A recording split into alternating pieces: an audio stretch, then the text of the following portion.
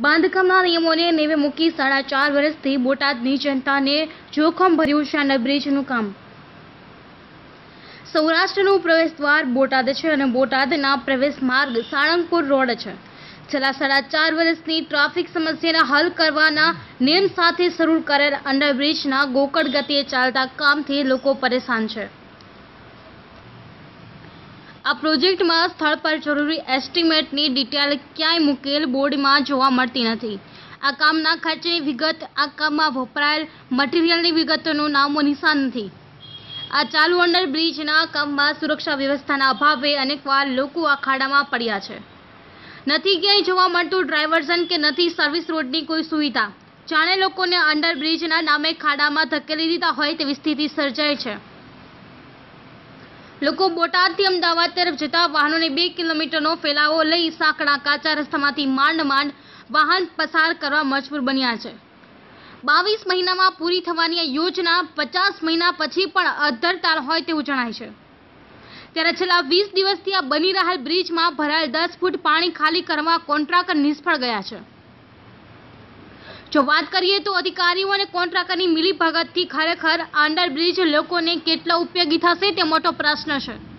પરંતુ હાલની સ્થિતિમાં કોન્ટ્રાક્ટર પાસે તુરંત કામ પૂરું કરવું અથવા આ કામ રદ કરી અન્ય કોન્ટ્રાક્ટરને સોંપવું તે જનતાની માંગ બની છે. બોટાદ નાયબ કાર્યપાલ ઇજનેર અમીન સાહેબને આ અંગે પૂછતા તેઓએ કોઈપણ પ્રતિક્રિયા આપતાનો ઇનકાર કર્યો છે. જ્યારે જવાબદાર અધિકારીઓ રાજકીય આગેવાનો શું કામ પૂરું કરવા માંગે છે કે બોટાદની જનતાને પરેશાન કરવા માંગે છે? તે પ્રશ્ન ઉઠી રહ્યા છે. રાઠોડ પ્રકાશ સાથે પ્રવીણ ભટ્ટ લોકસમના ન્યૂઝ બોટાદ. શું? મારું નામ મંજીભાઈ ગણેશભાઈ મકવાણા. આ કેટલા ટાઈમથી ખોદી મૂક્યું છે? આ લગભગ ઓછામાં ઓછા સાડા ત્રણથી પોણા ચાર વર્ષ થયા. કેવી મુશ્કેલી પડે છે? મુશ્કેલી એટલે આખા ગામના પબ્લિકને બધાને ખબર છે. જાત્રાળુ સાળંગપુર જતા હોય સ્વામિનારાયણ મંદિરે જતા હોય હનુમાન મંદિરે જતા હોય. અધિકારીઓ નીકળતા હોય. અધિકારીની ઓફિસો મોટાભાગે ન્યાય મંદિર છે, તાલુકા પંચાયત, જિલ્લા પંચાયત. બરાબર, પછી આપણે પોલીસ પરેડ ગ્રાઉન્ડ હોત છે. બધાના તકલીફની, તકલીફ તો પડે જ છે. પણ પછી સોનાવાલા હોસ્પિટલ છે અને આ લોકોએ હવે આ ખોદ્યા પછી કાંઈ બહુ ધ્યાન દીધું નથી. કેમ કે દરેક કોન્ટ્રાક્ટરો પોતે બદલાતા જાય છે અને હાથ ખંખેરતા જાય છે. બરાબર? બાકી હવે આટલું બધું પાણી ભરાણું છે. હવે એ પાણી ક્યારે એનો નિકાલ ક્યાં કરશે? પહેલી વસ્તુ એ છે. અને પાણીનો નિકાલ નહીં કરે. બરાબર? હવે કોરોના હોય તો જે હોય. પણ પરંતુ આની અંદર મચ્છરનો ઉપદ્રવ થાય એટલે રોગચાળાનો ભય રહીશ આમાં કોઈ અકસ્માત થયેલા એવું દાદા? હા એક વ્યક્તિ મરી ગયેલો. પછી ઓલપાની બાજુમાં એક ખૂંટ્યો. પછી એક ટુ વ્હીલ વાળા ભાઈ પડી ગયા. એના હાઈટકા બાઈટકા બધું ભાંગી ગયું. એક સાયકલ વાળો પડ્યો. એ વળી બચી ગયો. આ પાણી ભરાય અને એમાં જે મચ્છરનો ઉપદ્રવ થાય રોગચાળો ફાટી નીકળે કેટલા લોકોને અસર થાય આમાં આનો વાયરો ક્યાં જાય કઈ નક્કી નહીં. આપણે આ વિસ્તારમાં કેટલા માણસો રહે છે? અમારા વિસ્તારમાં ઓછામાં ઓછા ખાલી મારા વિસ્તારની અંદર ઓછામાં ઓછા લગભગ પચાસ હજાર ઉપર રહે. બરાબર? અને એથી આગળ તમે જાઓ તો એરિયા બહુ વધી જાય છે. અને આ તો પવન વેગે ક્યાં જાય કઈ નક્કી નહીં. એટલે તાત્કાલિક શું કરવું પડે? તાત્કાલિક આનો પાણીનો નિકાલ કરી અને એ લોકોને વહેલી તકે કામ ચાલુ કરવું પડે. સાહેબ આપનો પરિચય? હજી મારું નામ હિતેશભાઈ નાનજીભાઈ સોલંકી સૌગરનગર અહીંયા જ રહું છું બાજુમાં તે છે. આ જે અંડરબ્રિજ બની રહ્યો છે. કેટલા સમયથી બની રહ્યો ચાર વર્ષ આજુબાજુ થઈ ગયા છે.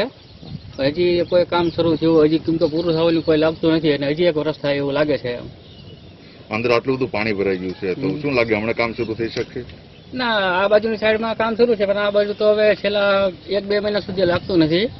આનો નિકાલ કરવાની કોશિશ કરે છે પણ હજી કોઈ લાગતું નથી કે આનો નિકાલ થઈ શકે એવું વરસાદના કારણે.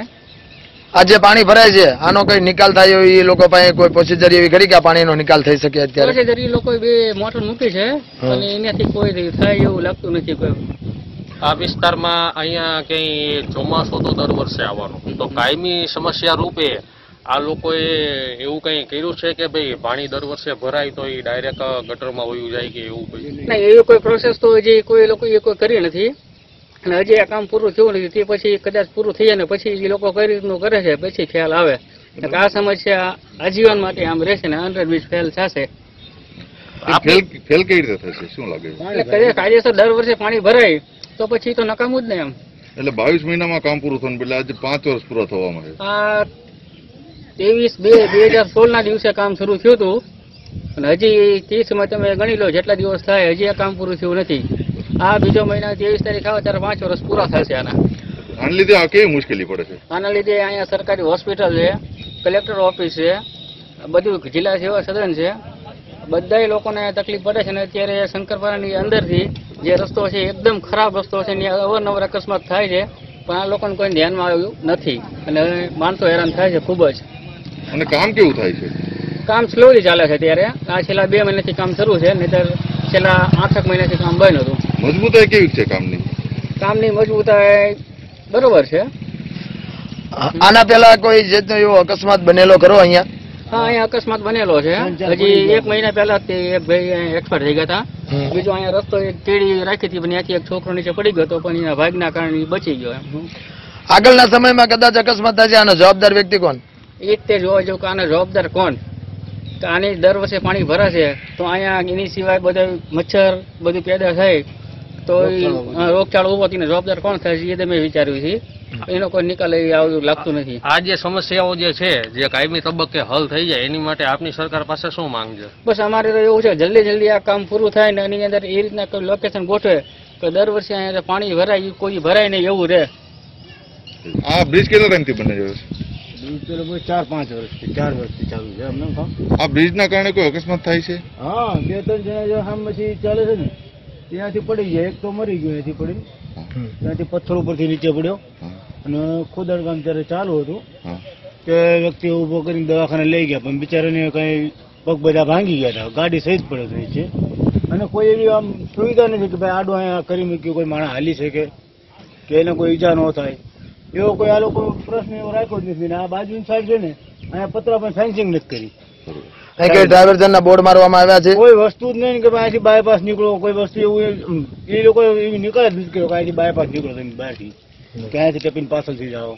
એવું કામગીરી ચાલુ છે આ આગળ ધ્યાન રાખજો કે એવું કઈ કોઈ બોર્ડ કે એવું કઈ ને બારોબાર. અને અહીંથી પબ્લિક ને શું ખબર હોય? અકસ્માત થાય પછી કોન્ટ્રાક્ટર કોઈ જવાબ દે છે? ના ભાઈ કોઈ અહીંયા આવતું જ નથી. કોઈ આવતું જ નથી હાજરમાં કોઈ કોન્ટ્રાક્ટર આ કોન્ટ્રાક્ટરનું નામ તમને ખબર છે? ના, એ આપણે જાણતા નથી ખ્યાલ આપણે. ઓલા બેન પડવાની તૈયારી ઓલા બેન પડશે આમ જો. જો જો ઓલા બેન ને જો શૂટિંગ જો એ બેન ને જોઈ લો તમે. કેવી રીતે આવે છે? આ સમસ્યા કેવી છે અમારી? જો હાલત અમારી કેવી છે આમાં?